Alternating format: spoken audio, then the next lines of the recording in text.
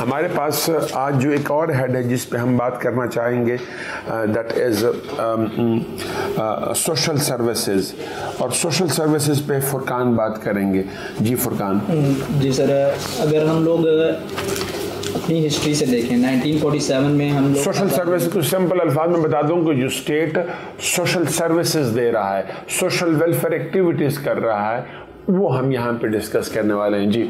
Sir इसमें अगर हम लोग देखें तो सैंतालीस के बाद से ही हमें थोड़ा सा प्रॉब्लम इस तरह से रहा है क्योंकि उस टाइम पे हिस्ट्री की सबसे बड़ी एक हिजरत हम लोग कह लें तो वो जी हुई थी। जी अब जी। उस टाइम पे हम लोग क्योंकि एक नई इकोनॉमी बन रहे थे तो हमें रिफ्यूजीज़ का एक बहुत बड़ा प्रॉब्लम था जिसको काउंटर करना हमारी हुकूमत के लिए उस टाइम की हुकूमत के लिए बहुत ज़्यादा ज़रूरी था। इसी सिलसिले में सर क्योंकि उस टाइम पे हमारे पास कोई ऑर्गेनाइजेशंस पब्लिक या प्राइवेट लेवल पर इस तरह की ऑर्गेनाइजेशंस नहीं थी जो हमारी पॉवर्टी रिडक्शन को कंट्रोल करती या उस बारे में हमें कोई भी स्टैट्स प्रोवाइड करती। सर 1951 में अगर हम लोग देखें तो हमने यूनाइटेड नेशन से एक असिस्टेंस उसकी मांगी थी कि हमें गाइड किया जाए कि हम लोग इस मसले को किस तरह से हल करें तो उसी सिलसिले में सर 1952 में यूनाइटेड नेशन के एक असिस्टेंस टीम आई थी कराची जिन्होंने विज़िट किया था और उन्होंने पाकिस्तान को सजेस्ट किया था कि आप स्टेट लेवल पर ऐसे ऑर्गेनाइजेशंस कायम करें जो आपकी पॉवर्टी को मेंटेन करें या उसको पॉवर्टी को जो है वो चेक करें उसका बढ़ने ना दें। बढ़ने ना दें या उसका एक स्टेट प्रोवाइड करें स्टेट को ताकि स्टेट की नॉलेज में ये एक चीज़ आ जाए कि हमारे मुल्क में पॉवर्टी की लाइन के नीचे कितने परसेंट आवाम रहती है। ठीक है। सर उसी सिलसिले में देखा जाए तो फर्दर 1953 में हमारा नेशनल प्लानिंग कमीशन बोर्ड कायम किया गया। सर उसका काम बेसिकली यही था कि सिंपल वर्ड्स में मैं कहूँ तो एक डेटाबेस प्रोवाइड कर रहा था कि हमारी पॉवर्टी लाइन से नीचे के एरियाज़ कौन कौन से हैं और वहाँ पे कौन कौन कितनी परसेंटेज अमाउंट जो है वो हमारी लोगों की रिलाई कर रही है पॉवर्टी लाइन से नीचे।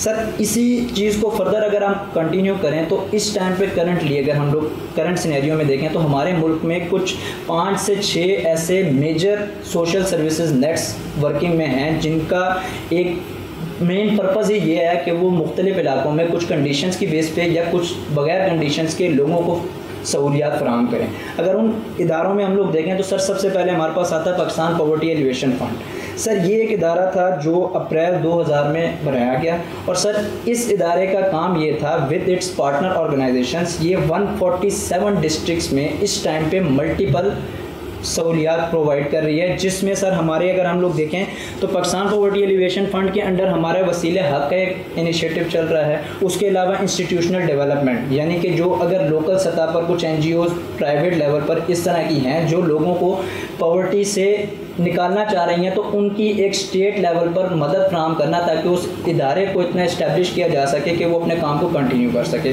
सर अगर इसका कुछ हम स्टैट्स देखें तो over the last twenty two years Pakistan poverty alleviation fund ने सर जो मेजर अचीवमेंट्स हैं सर अगर उनमें से कुछ पे हम बात करें तो sir around thirty eight thousand eight hundred हमारे एजुकेशनल हेल्थ न्यूट्रिशन और इंफ्रास्ट्रक्चर डेवलपमेंट प्रोजेक्ट्स कंप्लीट किए गए हैं इस पूरे टेन्योर में। सर, उसके अलावा अगर हम देखें तो ग्यारह लाख छप्पन हज़ार इंडिविजुअल्स को हम लोगों ने ट्रेनिंग्स प्रोवाइड की हैं ताकि वो अपना लाइवलीहुड आसान बना सकें। ताकि उन लोगों को कुछ बेसिक टेक्निकल ट्रेनिंग्स ऐसी दी जा सकें जिससे वो अपना ज़रिया मुआश बनाएँ और उससे पॉवर्टी को रिड्यूस करने में जितना हद तक बेहतर हो सकता है। अगर सर हम इसका बजट देखें तो around two thirty seven point five six billion rupees from two thousand to two thousand twenty two हम लोग पाकिस्तान पॉवर्टी एलिवेशन फंड के ज़रिए डिस्ट्रीब्यूट कर चुके हैं। सर इसी में अगर हम अपना नेक्स्ट हेड देखें तो जैसे कि पाकिस्तान एक इस्लामी मुल्क है और इस्लामी मुल्क की मीशत में ज़क़़त का एक बहुत अहम किरदार है। सर ज़क़़त की डिस्ट्रीब्यूशन और ज़क़़त में जो फ़ंड हम लोग रखते हैं वो गवर्नमेंट लेवल पे बजट में ही डिसाइड हो जाता है।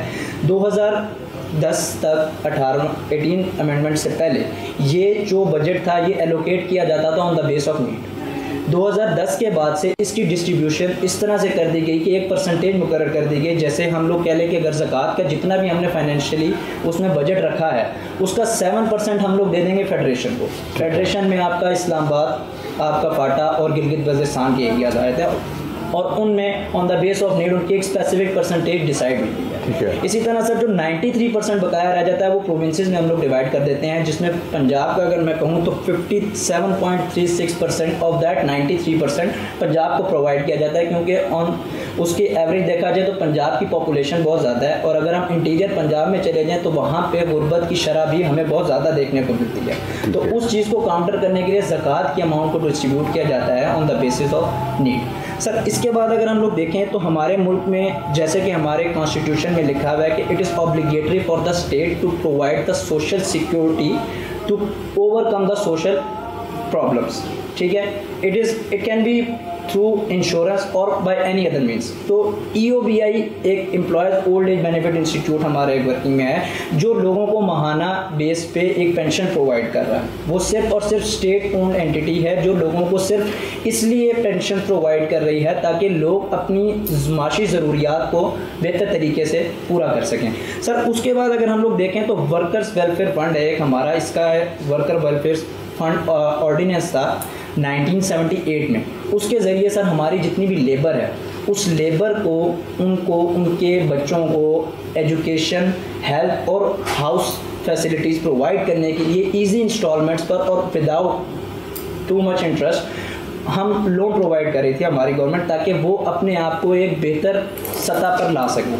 सर, उसके बाद अगर हम लोग मेजर अचीवमेंट जो स्टेट की तरफ़ से एक बड़ा कदम देखा जाए तो 2008 से 13 वाले टेन्योर में बेनज़ीर इनकम सपोर्ट प्रोग्राम का अनाउंसमेंट हुआ। सर, उस प्रोग्राम के तहत हम लोगों ने, हमारी गवर्नमेंट ने कंडीशनल और अनकंडीशनल बेसिस पे लोगों में अमाउंट डिस्ट्रीब्यूट की। अगर मैं कंडीशनल केस को फर्दर क्लैरिफाई करूँ तो सर कंडीशनल में हमारे पास कुछ प्रोग्राम्स ऐसे थे जिसमें कुछ शराइ की बिना पर लोगों में अगर कह लें वजीफ़े या लोगों को माशी तौर पर एक बेहतर मौाक़े फ्राहम किए गए। सर, अगर उसमें देखा जाए तो वसीला रोज़गार, वसीले रोज़गार के तहत क्या होता था कि हमारे गवर्नमेंट ने कुरानंदाजी के तौर पर तीन लाख रुपए तक का लोन डिस्ट्रीब्यूट कर रहे थे on the lowest interest rate और उसकी जो पे बैक टाइम था वो तकरीबन पंद्रह साल का था कि पंद्रह साल में आपने ये लोन जो है वो पे बैक करना है गवर्नमेंट को ताकि आप उस वसीले हक रोज़गार प्रोग्राम के अंडर आप अपने लिए कोई एक ऐसा रोज़गार कायम कर सकें जो आपको बेहतर तरीके से ज़िंदगी गुजारने पर रखे। सर, उसके अलावा अगर हम लोग देखें तो वसीला सेहत एक ऐसा प्रोग्राम बेनज़ीर इनकम सपोर्ट के अंडर, ये कंडीशनल कैश ट्रांसफर्स नहीं था। सर, उसके अलावा अगर हम अनकंडीशनल कैश ट्रांसफ़र देखें तो उसमें सर, जैसे औरतों की पेंशन मुकर कर दी गई दूर दराज इलाकों में या पसमानदा इलाकों में औरतों की पेंशन मुकर कर दी गई, उसमें कोई कंडीशन नहीं रखी गई थी। वो इस तरह था कि जिन घरानों में या जिन इलाकों में औरतें जो हैं वो अपने ज़रिया मुआश तो नहीं बना सकती, लेकिन उनके घर में कोई और अदर सोर्स ऑफ़ इनकम भी नहीं है। तो उन औरतों को स्पेसिफिकली एक स्पेसिफाइड अमाउंट जो है वो गवर्नमेंट की तरफ़ से पे की जा रही थी। अगर हम अप्रॉक्सीमेटली देखें तो सर, बेनज़ीर इनकम सपोर्ट के अंडर 2008 से लेके 2022 तक 1326.27 बिलियन रुपीस डिस्ट्रीब्यूट किए जा चुके हैं। आठ से बाईस। बाईस के दौरान में। तेरह सौ अरब रुपए। तेरह सौ अरब रुपए हम लोग दे चुके हैं। सर इसी तरह अगर इसके अलावा देखा जाए तो प्रीवियस टेन्योर में एहसास का हम लोगों ने एक इनिशिएटिव डिज़ाइन किया जिसके अंडर ये जितने भी मुख्तलिफ़ हेड्स थे इन मुख्तलिफ़ हेड्स को एक पेरेंट ऑर्गेनाइजेशन के तौर पर एहसास ने कंट्रोल किया। एहसास के अंडर ही आपका पाकिस्तान पॉवर्टी एलिवेशन फंड आ गया, उसी में आपकी ज़क़़त की डिस्ट्रीब्यूशन आ गई, उसी में आपका बैतुलमाल का हेड आ गया और उसी में वन ऑफ़ द मेजर जितना भी उसका हेड था, उसमें बेनज़ीर इनकम सपोर्ट प्रोग्राम भी आ गया। सर, अब Ehsaas as a parent organisation इन मुख्तलिफ़ हेड्स को तो उसी तरह कंटिन्यू कर रही थी, उसके अलावा एहसास ने अपने एंड पर कुछ नए इनिशिएटिव भी अनाउंस किए थे। जैसे अगर हम उसमें ज़िक्र करें, जैसे हमने लोन में भी ज़िक्र किया है कि कामयाब जवान प्रोग्राम इनिशिएट किया गया सर उसके ज़रिए आपके जितने भी बेरोज़गार यूथ है जो अपनी क्वालिफ़िकेशन पूरी कर चुकी है लेकिन क्योंकि हमारे मुल्क में बेरोज़गारी की शरह बहुत ज़्यादा है उस शरह की वजह से लोगों को उस तरह से मुआश नहीं मिल रहा ज़रिया मुआश नहीं मिल रहा। तो इस गवर्नमेंट का एक इनिशिएटिव ये था कि ये आपको कामयाब जवान के तहत लोन प्रोवाइड कर रही थी ताकि आप एक नया बिज़नेस सेटअप लगा सकें। उसके बाद on the lowest interest rate आप उस लोन को पे ऑफ़ कर रहे थे। उसके अलावा अगर हम देखा जाए तो सर एहसास के अंडर मेरा घर, मेरी स्कीम मेरा मुल्क, मेरा घर, ये स्कीम भी अनाउंस हुई थी। सर, उस स्कीम के अंडर आपको लोएस्ट इंटरेस्ट रेट पे पाँच साल, दस साल या उससे ज़्यादा के टाइम पीरियड के लिए भी लोन प्रोवाइड किया जा रहा था, ताकि लोग जो है वो अपने लिए आसानी, क्योंकि हमारे मुल्क में सर अगर हम मिडल मैन को देखा जाए तो सर, उन लोगों के लिए सारी उम्र यही काम रह जाता है कि वो कमाते हैं और खा लेते हैं। उनके पास इतनी सेविंग नहीं रह पाती कि वो अपने लिए घर बना सकें। तो इस गवर्नमेंट की तरफ़ से ये जो इनिशिएटिव था, ये लोगों को इसलिए बहुत ज़्यादा इफ़ेक्टिव लगा क्योंकि इसमें जो इंटरेस्ट रेट था वो बहुत कम था। लोन आपको प्रोवाइड किया जाता है आपकी ज़रूरत के मुताबिक, लेकिन उस पर जो इंटरेस्ट रेट था वो बहुत कम लगाया गया था ताकि लोग उसको आसानी से वापस भी कर सकें। सर, इसी के अंडर अगर हम लोग देखा जाए तो एहसास के अंडर या प्रीवियस गवर्नमेंट में सेहत कार्ड अनाउंस किया गया। सर, हमारा जिस तरह का माशरा है या जिस तरह के सेंटिमेंट के हम लोग हैं, हम खाने पर पीने पर रहने सहने पर कॉम्प्रोमाइज़ कर लेते हैं। लेकिन अगर मेरा कोई भी अज़ीज़ इस टाइम पे बीमार होगा तो मैं उसकी सेहत को लेके कॉम्प्रोमाइज़ नहीं कर तो सर एक बहुत ही बड़ा इनिशिएटिव एक गवर्नमेंट लेवल पे इससे पहले कहीं किसी मुल्क में शायद ही देखा गया हो लेकिन प्रीवियस गवर्नमेंट ने एक ऐसा इनिशिएटिव अनाउंस किया कि जिसके सेहत कार्ड के थ्रू आपको दस लाख तक की इंश्योरेंस प्रोवाइड की जा रही थी पर फैमिली सर अगर हेल्थ की इंश्योरेंस कवर हो जाए तो बाकी ज़रिए से हम लोग मतलब अगर एक सोशल सर्विस ही है गवर्नमेंट की तरफ़ से जो कि कवर कर रही है आपकी सारी कमोडिटीज़ को। अगर हमारी सारी ज़रूरियात स्टेट की तरफ़ से पूरी हो रही हैं तो हम बेहतर तरीके से प्रोडक्टिविटी पे काम करेंगे और हमारी प्रोडक्टिविटी इंक्रीज हो सकती है। Excellent thank you very much इसमें एक पॉइंट मैं ऐड करना चाहूँगा जी जी प्लीज़ कि जो सब्सिडीज़ है ना सब्सिडीज़ वो भी social services social safety net के हेड में अंदर आती हैं। मीन्स के सब्सिडीज़ को हम अलग डिस्कस नहीं कर सकते। फॉर इंस्टेंस अगर हम बात करें यूटिलिटी स्टोर्स पर अगर एक किलो चीनी की एक्चुअल प्राइस सौ रुपये है तो गवर्नमेंट उसको अस्सी रुपये देती है लेकिन जो ये गैप है अस्सी से बीस साल ये वो सब्सिडी है जो गवर्नमेंट आवाम को रिलीफ देने के लिए। फॉर एग्ज़ाम्स इंस्टेंस एक पिछली गवर्नमेंट ने पेट्रोल पर 55 परसेंट तक लेवी को कम किया टैक्सेस कम किए या वो खुद बोझ उठा रही थी क्योंकि उन्होंने एक प्राइस फिक्स कर दी थी कि भाई इससे नाम पड़ेंगे और तीन चार महीने तो ये लगा कि वो एंड में जब कैलकुलेशन हुई तो पता लगा कि वो 55 परसेंट तक बेयर कर रही थी एक्सपेंस को ताकि आवाम को सब्सिडी दी जा सके। उसके अलावा देखा जाए तो 1.6 ट्रिलियन तक सब्सिडीज़ दी गई। उसमें से एहसास के under 200 billion P K R और ख़ास तौर पे जो कोविड का एरा था जो सबसे मोस्ट इफेक्टेड एरा उसके अंदर 244 billion P K billion P K रखा गया ताकि गरीब आवाम पर बोझ कम से कम पड़े। ठीक है। सर इसके अलावा एक और बहुत इंटरेस्टिंग फैक्ट है। कि अभी रिसेंटली स्टैनफोर्ड यूनिवर्सिटी ने आ, हमारा जो एहसास प्रोग्राम है इसको टॉप रेट किया है। और इन्होंने एक पेपर पब्लिश किया जिसका टाइटल है कि how world can learn from Pakistan poverty alleviation Ehsaas programme तो एक बहुत बड़ी अचीवमेंट है। ठीक है। लेकिन बदकिस्मती से हम अचानक बड़े सिवियर इकनॉमिक क्राइसिस का सामना हम करने लगे हैं।